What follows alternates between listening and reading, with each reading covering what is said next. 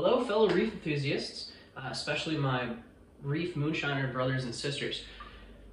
I wanted to talk to you today a little bit about something that's been coming up on our Reef Shiner support group Facebook page very frequently uh, due to tons of pictures of people submitting of their tank, uh, especially the through shots through the length of their tank, uh, asking how they get that level of clarity within their water. Um, and nine times out of 10, the answer has been a power filter. So what I want to do for you today is I want to go through um, a couple reasons as to why you would want a power filter, uh, some reasons maybe why you would not want a power filter, and show you exactly how I built my power filter here. Uh, I'll go through step by step, as well as giving you some different options of things that you could change uh, with my model to make it maybe even a little bit cheaper and maybe even a little bit less maintenance. So this is something that is completely up to you on how you want to move forward with it. It's a very simple thing to build. It's very effective. So we'll just get right into it and talk a little bit about why we would want to use a power filter. The biggest reason why anyone is going to want a power filter is water clarity. So all of that detritus uh, that gets stirred up, all that leftover food, um, whatever else it might be, fish poop, all that stuff that stays suspended in the water column and doesn't quite make it into your overflow, this power filter is going to pull right out of the water for you.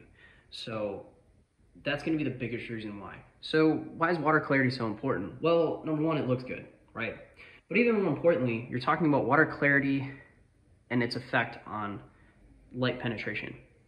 Now, BRS did a study, I recommend you all go look at that, as to the effects of the yellow tinted water where they were not running granulated carbon versus a system that had pristine blue water that was running granulated carbon. And they found that it was about a 20 to 30% loss in par that you could have from a yellow from yellow tinted water that was not running carbon.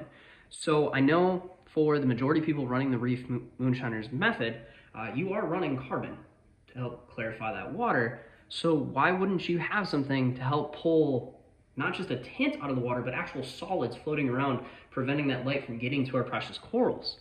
So that's gonna be, you know, an even bigger reason um, as to why you wanna run a power filter. But obviously it looks great. So let me go ahead and talk to you a little bit about Howie and why I definitely need a power filter in this tank. This is Howie. He is my diamond sleeper goby. I know a lot of people know them as diamond watchman gobies, but they're actually a sleeper goby being a sand sifting goby. This is a fantastic fish to have. I've never cleaned my sand bed. I've had very little diatoms on my sand bed at almost any given point in time throughout the life of my tank. And I accredit that mainly to Howie. Most of the fish in my tank are utilitarian fish. There's a few in here that really don't serve much of a purpose other than just to fill the water column, chromis. But he's just one of those fish that I had to have and I added him in my tank right away. As you can see, I have pink Fiji sand. So it's a very fine sand, which is perfect for a goby such as this. So that's one reason why you might actually want a power filter. So let's talk a little bit about how we're gonna go about building uh, this power filter. So I'm gonna go through just the bare minimum of what you're gonna need. But if you wanna go a little bit more in depth, there's actually a third item that, that I added that just kind of seems like it makes it last a little bit longer. So instead of having to change out the pad every two days, I've changed it out about every four to five days. Doesn't seem like a lot, but that's just a lot more maintenance on the tank that, that I really don't wanna do if I don't have to. So anything that I can do to help increase the, the running time on this without me having to mess with it, me putting my hands in the tank, the better off I am. So the first thing that you're gonna need is gonna be an internal uh, aquarium filter, just something with a pump and something that sucks the water up through. Talk a little bit more in depth when we take it out of the box as to how this functions, because that's the important part is how this draws in the water. So we'll talk a little bit more about that, and then you're obviously gonna need some filter floss, polishing pads, whatever you want. I'm personally using 100 micron. That works great for me. You could go 200 micron if you wanted. You could even go down to 5 micron or maybe 1. but good luck, you're gonna be changing it out every single day. So when we actually take the filter out of the box, which I already, already unboxed it, you get uh, a couple different things. So you have this filter canister that is actually made up of three different canisters. Now, this is another reason why I chose this particular model instead of some of the other ones out there, is that I have three. So I can choose how many of these that I want to put in the tank, which again increases my avail available runtime without me having to mess with it. The other thing it's going to come with is obviously the pump. So this one uh, is rated at 475 gallons per hour, which for a tank my size, 150 gallon, uh, I think it does a very good job. There are a few other options out there, not with the same features as this, that do go up, I think, to about 600. And then obviously, another reason that I liked this one is that it actually came with a directional flow nozzle. Um, again, not a big deal. I don't think a lot of people would care, but I kind of like where the flow is at in my tank, and I didn't want to disrupt that too much uh, by having another 400 gallon per hour pump pointed in a direction that's going to conflict with my current flow patterns. So that off to the side. Now, by stock, what it's going to come with is it's actually going to come with these nice little tubes that are filled with carbon. Um, I'm not sure if you can see, but inside of here, there's just a little uh, disc. You can actually pop that out and refill the carbon, or just take the carbon out entirely if you want. Um, I figured, hey, they gave me free carbon, went ahead and rinsed uh, these pellets off, and should be good to go for at least a few weeks before I even need to bother changing them out or just taking them out entirely. But key thing here is um, you do want to use these tubes. So don't just throw them to the side and not use them. You're going to want to use them.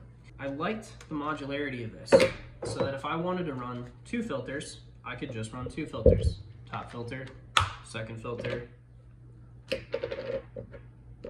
carbon ring, and in. So I could run it as two filters. I could even run it as a single filter if I wanted it to not be such an eyesore in my tank. The other reason that I went with this one too is because these are semi-transparent. Most of the ones you're gonna see are gonna be black. Um, and that's perfectly fine. It's, aesthetically, it's gonna look a lot nicer, especially if you have uh, black back glass, which I do not, mine's a double-sided tank. So there, that is an option that you can run with. Um, however, I like the clear because I wanna see exactly how well it's doing. And we'll talk again a little bit more about the functionality and how this works here when we set it up. But I like to know exactly how this is working and having that semi-transparent casing or tube is gonna allow me exactly that. So I'm gonna go ahead, I'll take these apart and we'll come back and we'll actually put it together doing the first way, which is gonna be the simplest way. All right, so when we're all said and done, this is what you're gonna be left with. Three casings, three original pads, and then your carbon tubes, as we'll call them. You're not going to need these um, for a much better filter, but there is a time and there is a place for this. Um, it just depends on whether you choose to use these or not. Um, in this particular, I guess we'll call it the, the easy model, we're gonna go ahead and use these because why not? Extra filtration isn't gonna hurt. So we'll go ahead, and we'll stuff these in here. Okay, we'll go ahead and stuff our carbon tubes in. Pop the bottom on, the next one on. Make sure that it actually fits up in there. I hope that you can see that. Then in, do the next one, pop the next one on, the next one, and put on the top. Cool. So now this is exactly how it's gonna come out of the box. So if you wanted to do it this way, you could just take it right out of the box, rinse it off, um, and get cracking on this filter. So first way is gonna be the easiest way. We're just gonna take a basic 100 micron polishing pad. Uh, these guys sell for like $14 and it's just a huge, huge sheet. It's more than I'll use for quite a long time. Now there's two sides to this. There's the rough side and there's the soft side. So you want the rough side to go towards the middle. So you want it to pull the water through the soft side into the rough side. So, this is how easy this is gonna be. We're gonna take this, and we're gonna roll it out. We're kinda gonna get our measurement just to a little bit of an overlap. We're gonna figure out where that is, as well as the length. Make sure that's lined up. And we're just gonna just cut a sleeve. for it. My dull scissors because I can't find my knife sharpener right now. I assume it's with my hunting stuff.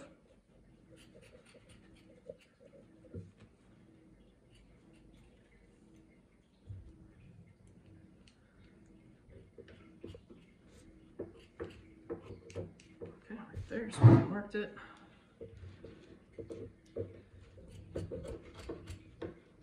Yeah, if you have a sharp enough scissors, you should be able to just strum right through this, just like you would do with uh, wrapping paper.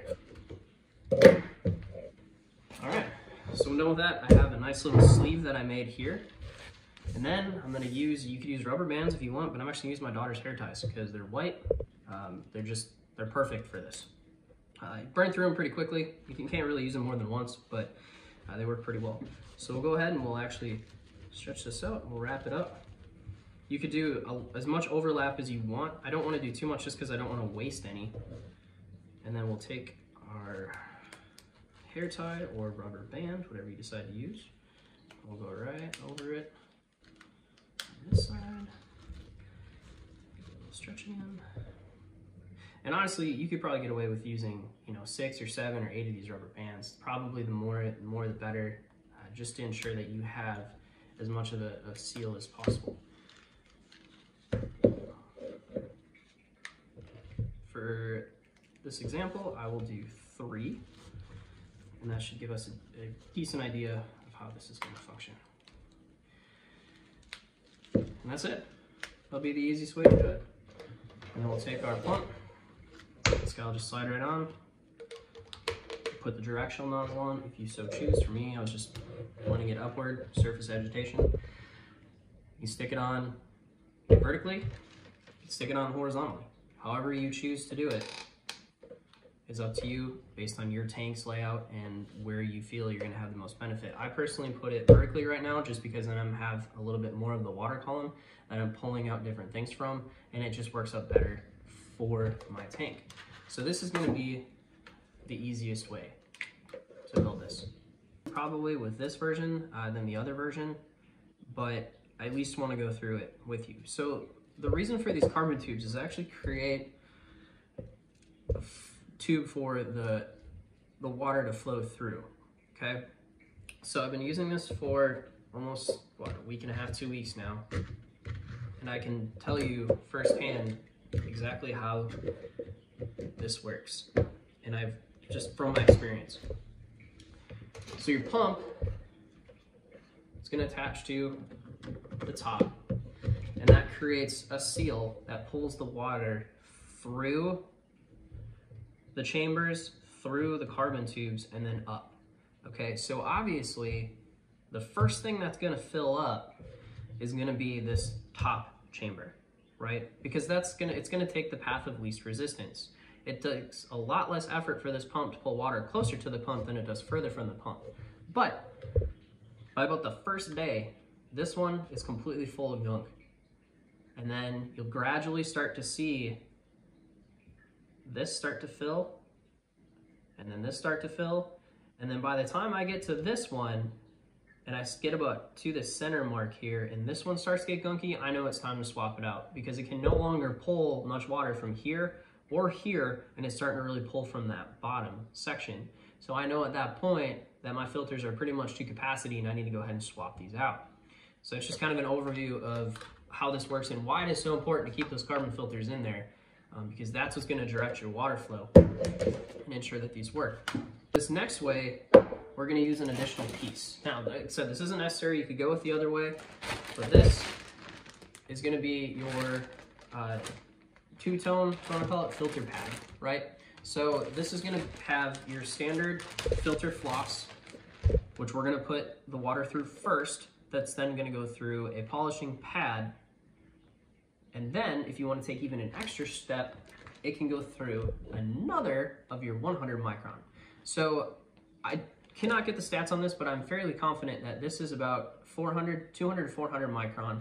Uh, the filter floss is obviously going to be almost more like a mesh mat more than anything, but it is going to grab stuff. You'd be surprised. So I can go from just a standard filter floss, pulling the biggest particles up first. That's going to then flow through the 200, and, 200 or 400 That's gonna pull out, you know, some of the finer particles and then to my 100. This is exactly how, if you have an RODI unit at home, this is how your sediment filter should be set up. It should go through and pull out the thickest sediment, then to the finest sediment. Because if I did it the other way, and I started pulling out the fine first, well, obviously the thicker sediment's not gonna get through this, so then what's the point of it, right? You need to start with, you know, your more coarse filter, and then work your way in towards a more fine filter. So I'm just gonna show you quick exactly how I do this. I will then stop the video because you don't need to watch me do this whole thing. And then I'll do the other the other two sections and then we'll put it in the tank and see how she goes. So all I, all I do is take this floss just like this. I have it already cut out to the proper size to fit in here. I would recommend you go a little bit wider than this because it's gonna compress and it's gonna ensure that there's no leaks in there for any water full of sediment to get through.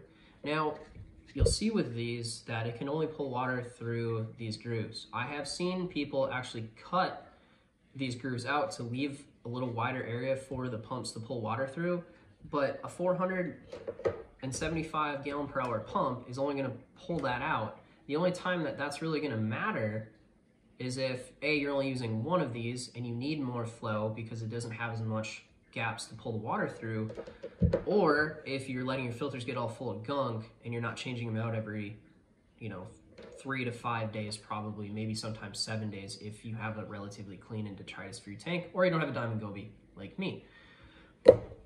So this is how we're gonna go ahead and do this. So we have the coarse floss, 400, 200, 100.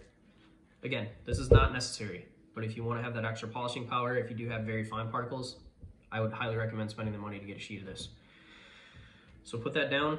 I'm to put the knobbed end, so we'll call this the male end, and this the female end. You can see how this works, just like that. So to put the male end down. I'm to leave it exposed just a little bit, and I'm to go ahead and just roll this up. Doesn't really matter how tight you do it right now, but you need to be able to fit it inside of the canister. So put it inside the canister until the male end is just exposed.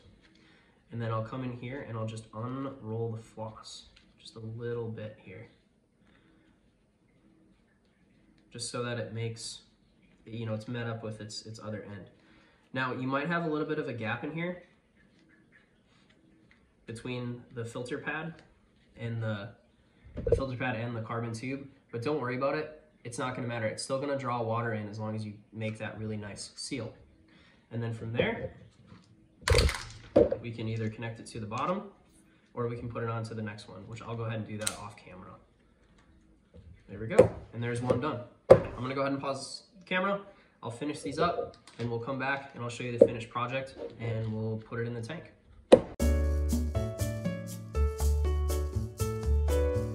All right, it's all built three sections with the filter floss and the filter pad curled up in there.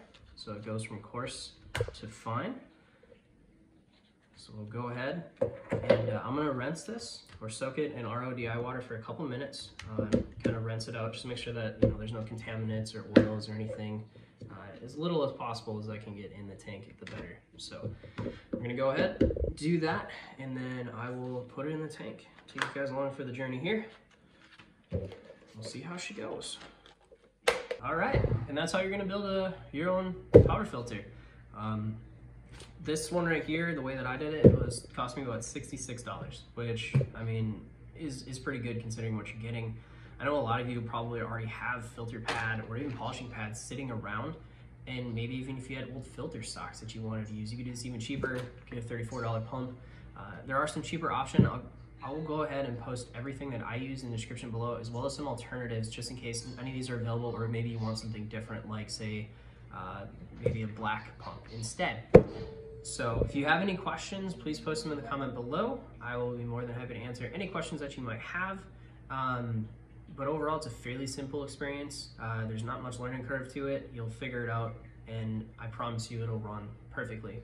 Um, I can actually see the bubbles clearing in my tank now. It's been running for about 10 minutes. I'll take you over there and give you one last look. Um, So the filter's been running for about 10 minutes. You can see quite a few micro bubbles still in there. But, I mean, overall, that's all it is. There's a little bit of detritus, but my Diamond Goby's been going to town today, so. Um, but already, let's see if you can see that. It's already pulling crud in. This is a brand new filter. You saw me cut it and put it in there.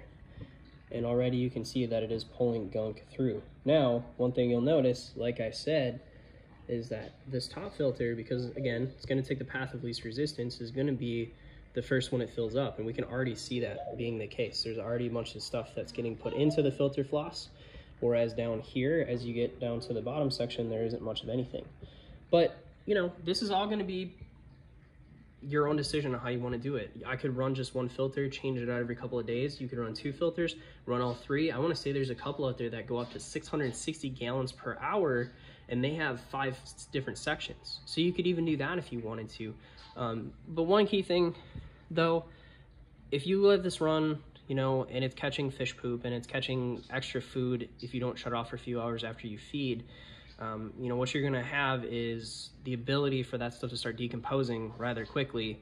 So if you do leave it for more than a few days, um, that could increase the phosphates and the nitrates in your tank. So if you already have a nutrient problem, make sure that you're changing this out more frequently. So maybe going to one filter or two filters might be a better option because it's gonna force you to not leave this for too long to where you're gonna have that decomposition happening and your nutrients levels spiking drastically.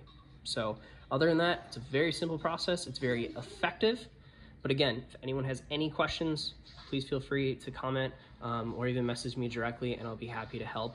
Um, if there's anyone out there that wants help building one or wants one to be built, I would also be more than happy to do that for you. So, but as you saw, it isn't a difficult process. I know some people just aren't comfortable with these kinds of things. So thank you again. I'll leave you guys with one last look at the tank and I um, hope everybody has a great rest of their day. Take care.